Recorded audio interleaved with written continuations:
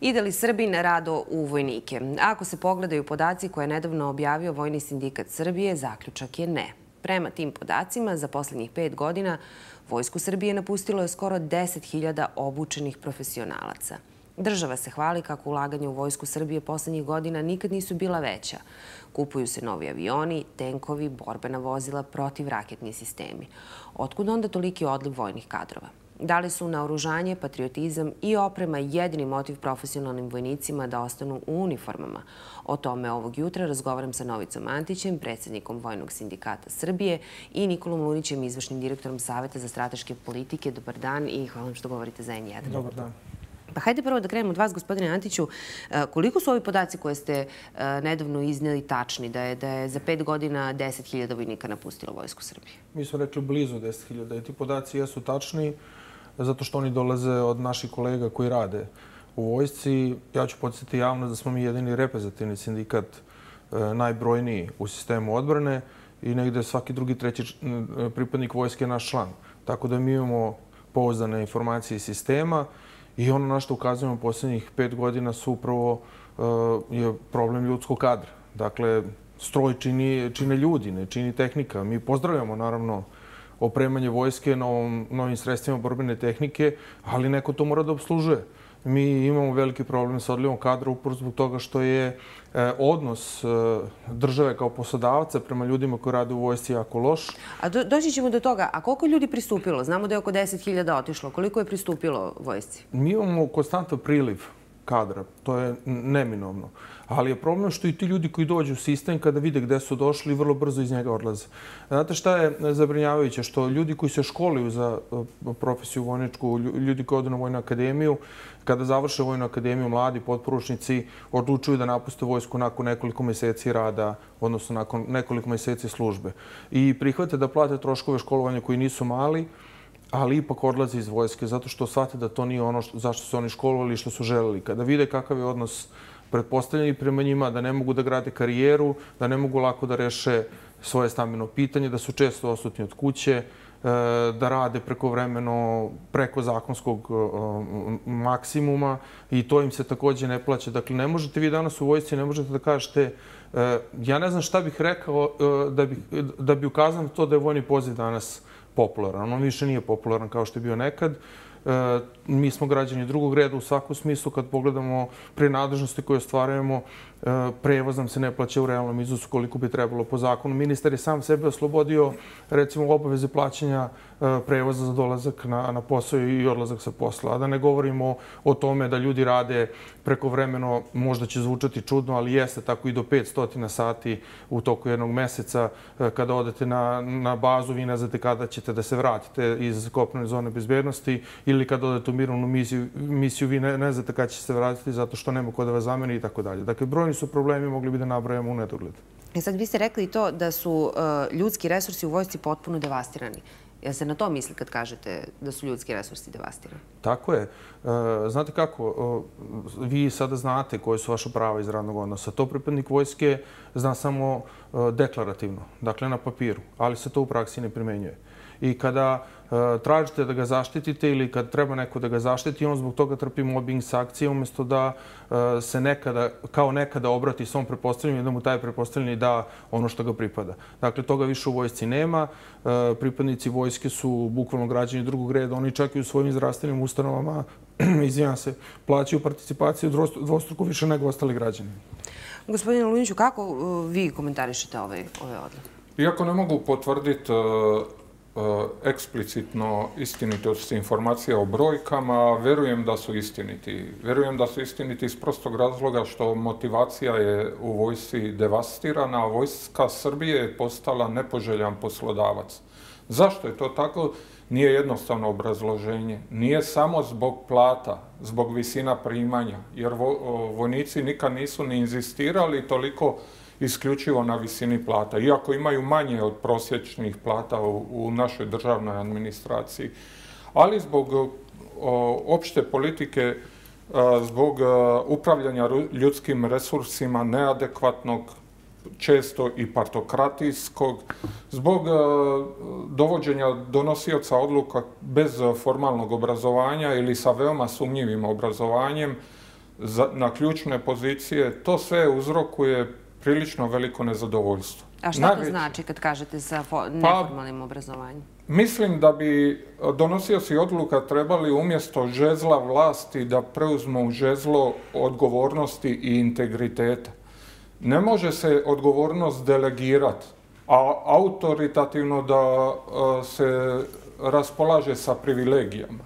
Jednostavno, treba se, pre, ukoliko načelnik generalštaba prima, po posljednjim podacima iz februara ove godine, prima 197.000 dinara platu ili nešto tako, a nekvalifikovan vojni službenih 33.000, ako se ne vara novici, e, onda takva vrsta privilegija nosi sa sobom i e, svojevrsnu odgovornost. E, Vidjeli smo, pre četiri i po godine se desila tragedija u tehničko-remontnom zavodu Kragujevac, kada su poginule četiri kolege. Taj zavod nije dio odbrambene industrije Srbije. On je u hjerarhijskoj nomenklaturi Ministarstva odbrane. Niko nije odgovarao, odnosno odgovaraju službenici. A gde je nadzorni odbor? A gde je general koji je rukovodio sa tim i bio nadležan? Da li se ispitalo, da li su imali pritisaka po kvantitetu proizvodne linije i tako dalje? Da li su oni morali umjesto 500 delaborisanih mina isporučiti dnevno 1500 mina? Govorim sada sve i navodim primjer samo o odgovornosti, ništa više od toga.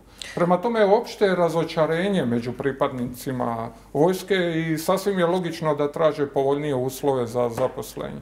A šta vam govori to da, se, da je posljednjih godina e, to što je mnogo uloženo u, u opremanje e, vojske Srbije? Znači, već čujemo da, da nema dovoljno e, ljudstva. Šta će nam onda tolika oprema ako njome nema ko da upravlja?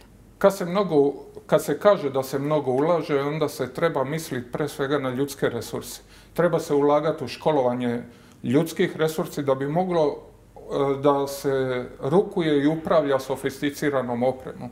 Sve ono što je Srbija u ovom, naravno, Republika Srbija, to moramo svi biti svjesni, to je zemlja sa ograničenim mogućnostima, pre svega finansijskim mogućnostima, a onda i demografskim ako hoćemo i možemo i o tome pričati.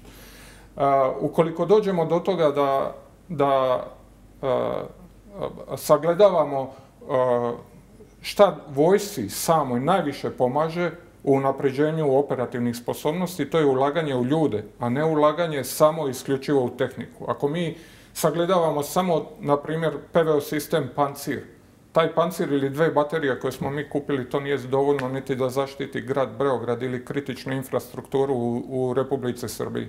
A, a da pričamo o cijeloj Srbiji je nonsens. A šta će nam onda tolika tehnika ako njom nema kod upravo? Pa, očigledno, nam treba radi političkih razloga. Da li je to reklama, samo reklama, da li je to konzistentnost biračkog tijela ili, na primjer, evo, sada upravo je u toku vežba između Amerike i, i Srbije, vojna vežba.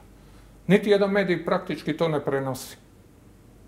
A svaku vojnu vežbu sa Belorusijom ili sa Rusijom prenose svi. Pa se možemo pitati Zašto je to tako? Zašto mediji nemaju interesa da prenose uh, vežbe sa američkom ili NATO stranom ili ako želimo sačuvati vojnu neutralnost? A kad vidite one naslove uh, uh, Srbija nabavila uh, naoružanje, Srbija mnogo jača, najjača u regionu, uh, prvo protiv od koga se mi to branimo? To me interesuje. Ko će to nas da napadne pa se mi toliko naoružavamo? A druga stvar, zbog čega je bitno da budemo najjači u regionu?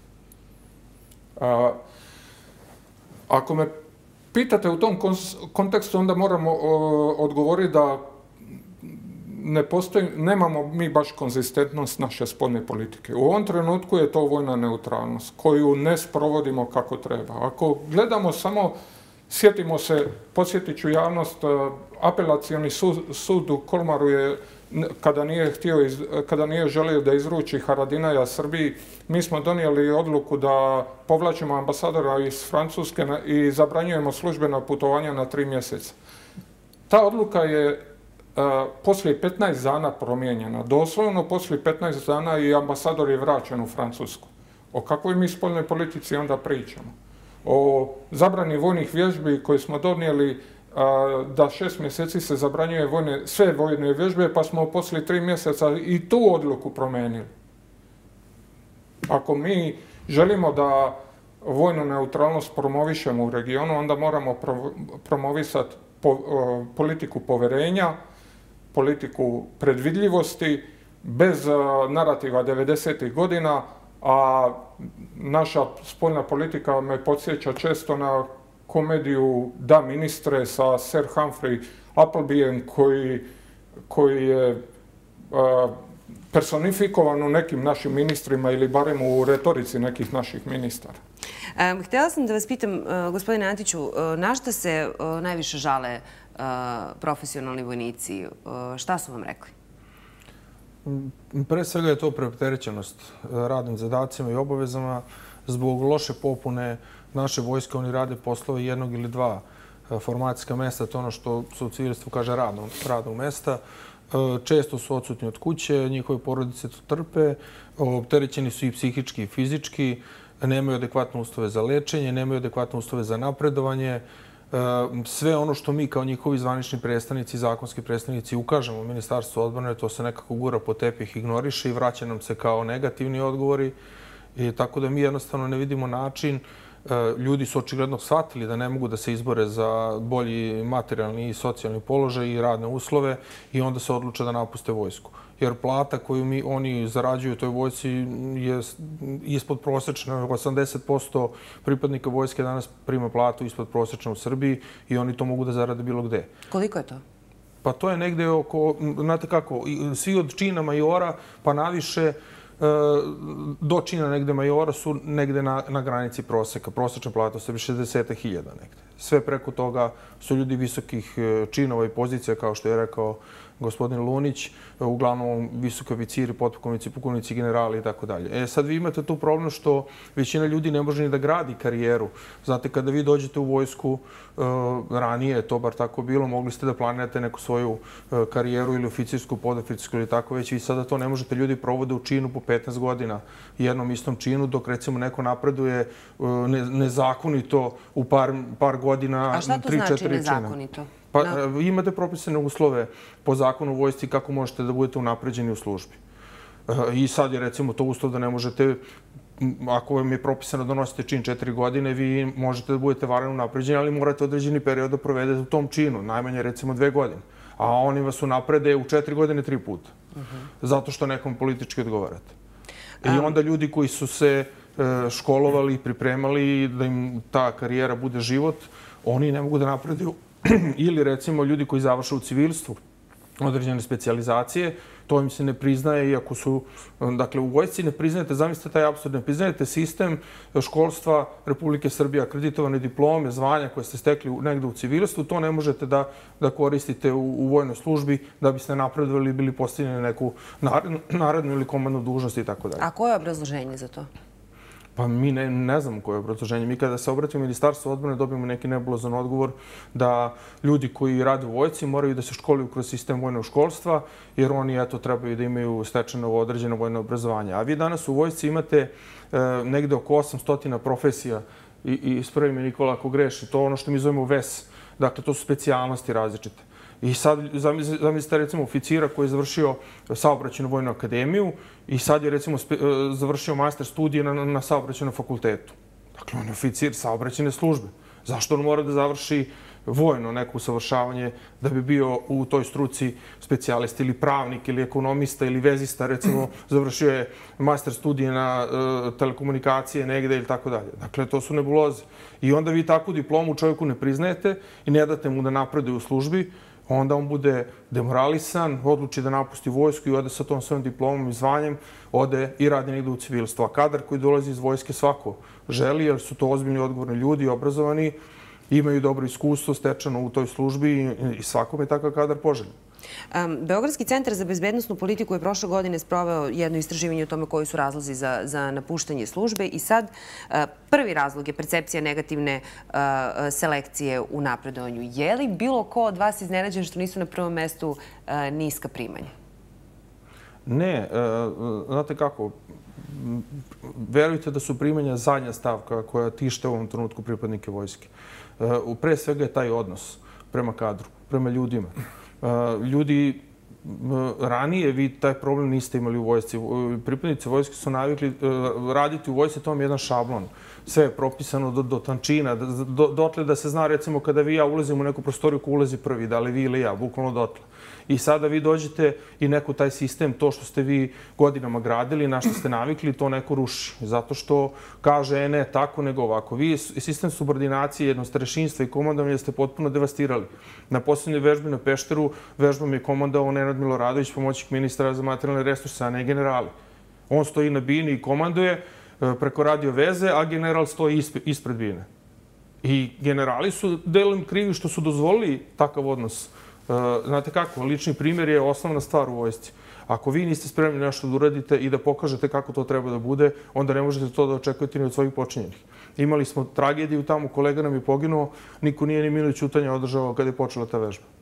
I to vam pokazuje kakav odnos imaju e, da kažem, komandovanje, odnosno vrh vojske i politika, odnosno država koja je nama poslodavac prema ljudima koji rade u vojsci.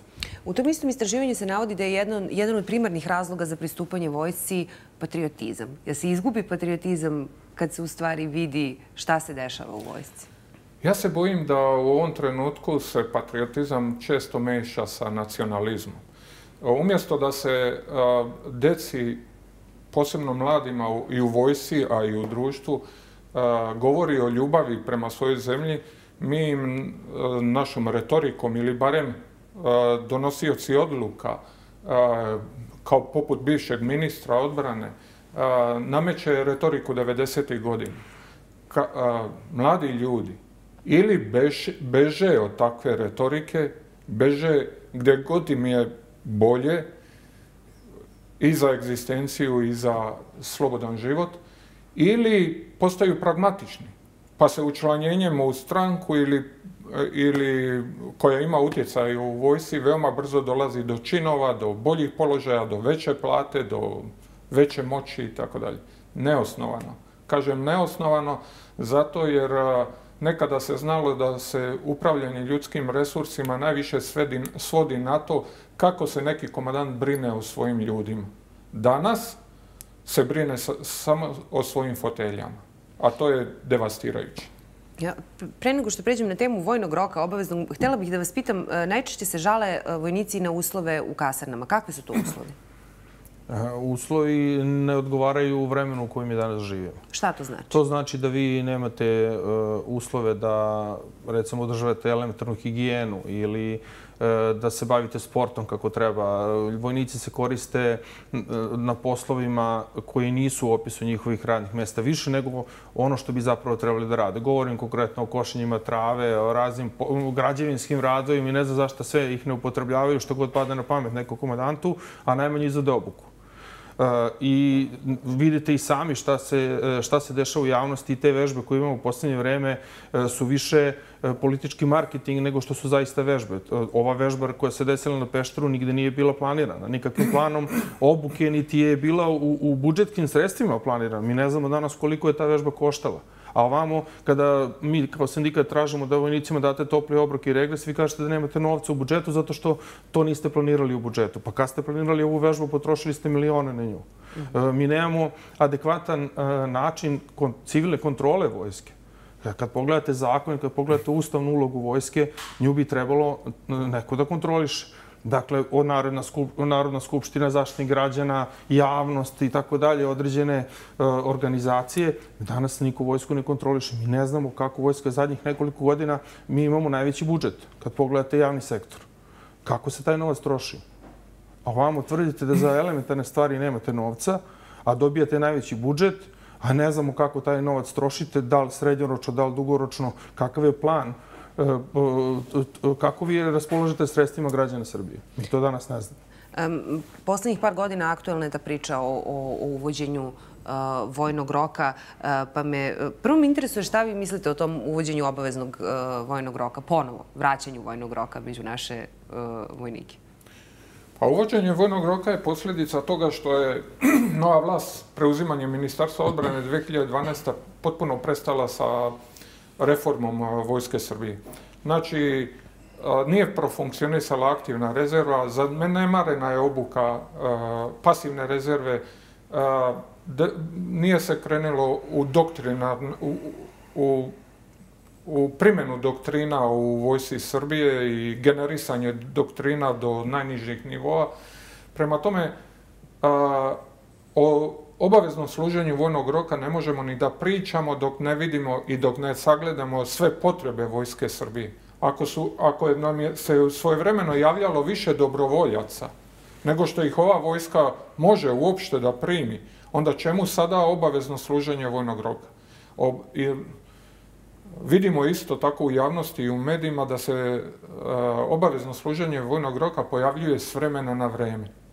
Kada i zašto se tako nešto pojavljuje i zašto se na medijskim stranicama pojavljuje da, ne znam, nija pravunok e, Vojvode Putnika podržava obavezno služenje vojnog roka u uslovima kada mi nemamo ni analizu ni sagledavanje posljedica takvih obaveznih služenja vojnog roka je pitanje za izvršnu vlast, naravno, i donosioce odluka. Ja lično mislim da obavezno služenje vojnog roka a samim tim i konsekutivna kaznena politika za one koji se ne bi odazvali je kontraproduktivna u ovom trenutku i trebalo bi da se pristupi stimulativno, pored profesionalne vojske, da se stimulacijama obezbijedi javljanje i dobrovoljno javljanje ili kroz aktivnu i kroz pasivnu rezervu da bi obezbijedili popunu jedinicu. A je se tim e, najavama e, za obavezno služenje vojnog roka u stvari prikriva e, to da, da veliki broj ljudi odlazi iz vojske? Ja mislim da je upravo to razlog zbog čega je, u stvari jedan od razloga, glavnih razloga zbog čega se u poslednje vreme to često provlači u javnosti. Dakle, loša popuna, odnosno nepopunjenost jedinice vojske u koju niko neće da ide dobrovoljno ili je profesionalno, naravno niko vas ne može tu da natera ali onda se neko setio da kaže ajde da napravimo da bude obavezna vojska i onda ćemo sada nateramo neku da, da ima obavez da ide u, u vojsku. Međutim, ono što je činjenica je da eh, i ono što mi znamo da niko na tome ozbiljno ne radi u sistemu odbrane, jer to iziskuje izmenu formacije. Eh, dakle, mi sada imamo jednu potpuno profesionalizovanu vojsku koja ima svoju formaciju po tom modelu kako je ona sada izgleda i kako je planirana pre nekoliko godina i kako treba da izgleda u budućnosti. Mi sada ne znamo ko radi i kako radi na izmjenu seta zakona. Jer vi morate da promijenite zakon o radnoj materijalnoj obavezi, zakon o vojsci, zakon o odbrani, set jedan zakona, da bi mogli da uvedete ponovo vojnike u kasarne, odnosno da popunite jedinice, žive jedinice vojske sa tim ljudima koji će služiti vojni rok. To je jedna stvar. Druga stvar, vi sada imate i devojke koje služe vojni rok. Ne samo muškarce. Eh, kakav ćemo mi model imati toga? Eh, koliko nama sastava mladići i devojaka svake godine za tu vojsku? Negde je regrutni kontingent, koliko ja znam, 30-40 hiljada samo muškaraca. A vi ste planirali da angažujete na osluženju vojnog roka u četiri roka, govorimo četiri mesečna roka, eh, ovaj, negde 10 hiljada ljudi. Ko će onda reći kojih 10 hiljada ljudi ide u vojsku, a ovih 30 hiljada ne ide? Znate, onda, onda obaveze koje ima banalizujem, ali recimo samo vojna policija prema tim ljudima koji sutra budu bežali iz vojske. To vam je u svakoj vojsci imate da ljudi odu E, na vikend pa se recimo ne vrate. Da li će njih procesuirati civilna policija ili će ih procesuirati vojna policija? Mislim, tu imate niz pitanja na koje mi danas nemamo odgovore. Gde će ti ljudi biti smešteni, u kojim objektima, e, e, kako će se hraniti, kako će se oblačiti. To podrazumije da vi u četiri kontingenta, odnosno u četiri roka, obučete sve te ljude novim uniformama, novom opremom. Dakle, tu imate milion pitanja na koje mi danas nemamo odgovore i niko u ovom trenutku u sistemu odbrane na tome ne radi. Mi samo to čujemo iz usta političara. Mhm. Htjela bih da vas pitam pa da zaključimo ovaj razgovor o bojcu. Šta mora da bude e, primarni cilj Ministarstva odbrane kako bi se u buduće sprečio odlazak e, ovolikog broja ljudi iz vojske?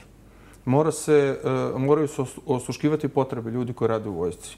Vreme u kojem mi danas živimo zahteva jedan drugi pristup E, tim profesionalcima. Dakle, oni imaju drugačije potrebe nego što je to bilo pre 20, 30, 40 godina. E, odnos predpostavljenih prema tim ljudima je isti kao što je bio pre 30 ili 40 godina, a oni su danas profesionalci. To je jedna stvar. Druga stvar, mi imamo staru vojsku.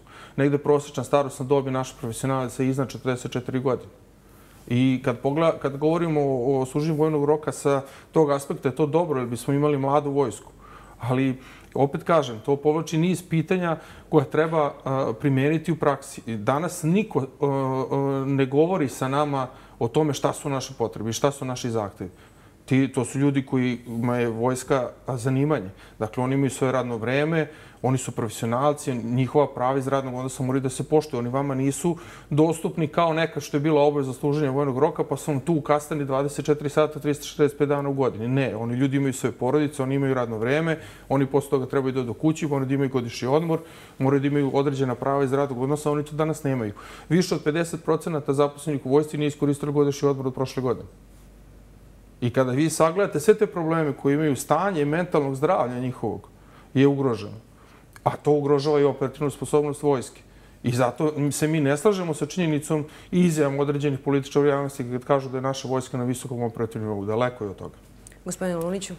Mislim da bi u buduće, već smo to propustili vreme, ali u buduće trebali da promovišemo vrednosti u vojsi Srbije vrednosti o brizi o ljudima, vrednosti o ulaganju u ljude i vrednosti koji bi promovisale neki naš moralni kodeks u vojsi. Nije na, moralni kodeks da generali imaju isključivo za sebe službenu autosekretaricu, kancelariju i sve svoje privilegije. Oni imaju svoje odgovornosti prema pripadnicima vojske Srbije. E, daleko je od toga da je e, ikada vojska Srbije i u ono vreme JNA bila vaspitna ustanova. E, JNA i vojska Srbije nikad nije, niti će biti vaspitna ustanova. Ali moramo prenijeti na mlade generacije ono što nas treba da u budućnosti gledamo, a to su čast i patriotizam. I ne mešati ih sa poltronstvom, politikanstvom ili poslušništvom. To su različite kategorije. Dobro, mnogo hvala obojci što ste, što ste odvojili vreme za, za televiziju N1. Gledali ste našu temu jutra. Idemo sada na pauzu i brzo se vraćamo.